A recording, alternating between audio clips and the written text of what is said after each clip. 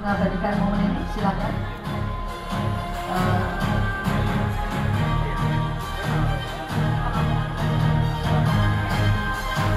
Mbak Yofi mungkin bisa sebelah sini untuk menyaksikan acara penandatanganan.